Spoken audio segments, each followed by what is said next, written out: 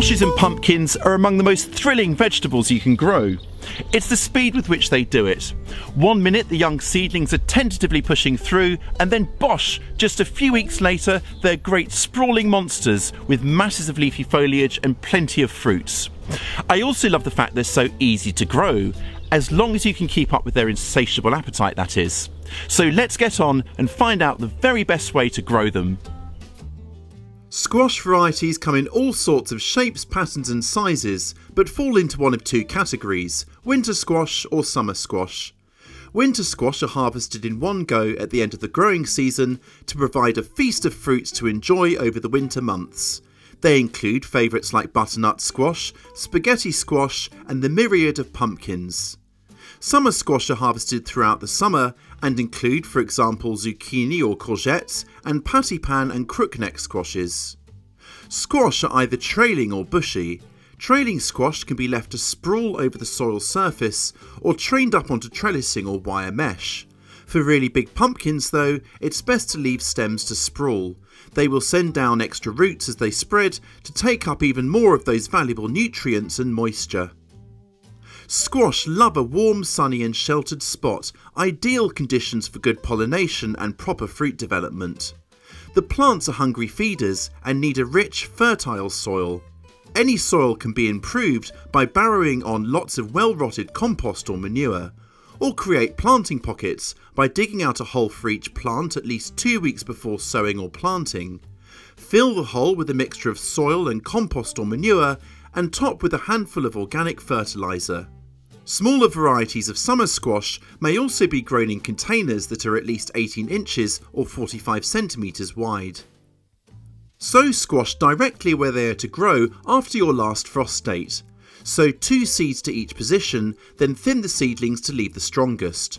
Pop a jar, cloche or cold frame over the sowing area to help speed up germination. A more reliable alternative is to sow into pots under cover sow one seed per pot about an inch or 2 centimetres deep. Germinate in the warmth at around 60 to 68 Fahrenheit or 15 to 20 Celsius. Sowings like this can be made up to a month before your last frost date to give good sized plants by planting out time. You may need to pot the quick growing seedlings on into larger pots before it's safe to move them outside. Most garden stores and nurseries also sell ready to plant seedlings, handy if you only want to grow a few plants. Set your plants out after all danger of frost has passed.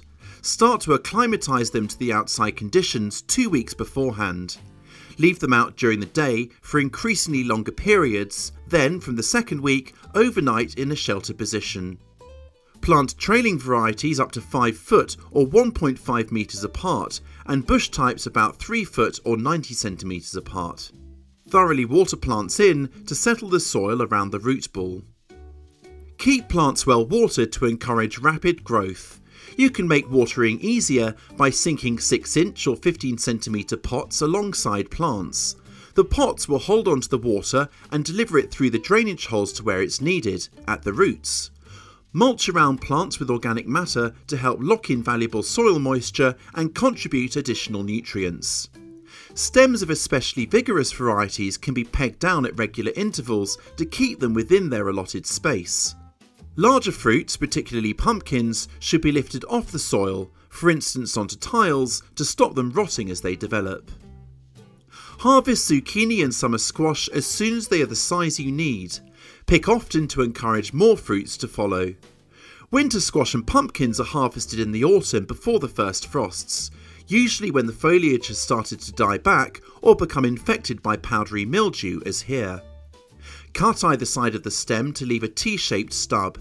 Avoid the temptation to use the stem as a handle as it could detach from the fruit and serve as an entry point to rot. Move fruits to a warm, dry and sunny spot to cure. Curing hardens the skin ready for storage. If it's already turned cold and damp outside, cure fruits in a greenhouse or on a sunny windowsill. Winter squash and pumpkins will store for up to six months at room temperature. And there you have it. Growing squashes to be proud of is really very straightforward. As ever, we welcome your experiences of growing these rambunctious veggies. Drop us a comment below to let us know what varieties you'd recommend and to share any tips for growing bigger, bolder fruits. Check that you're subscribed too, and if you're not, I invite you to join us today. You'll catch all of our latest guides to growing success and will be made to feel very welcome by our family of like minded gardeners. I'll catch you next time.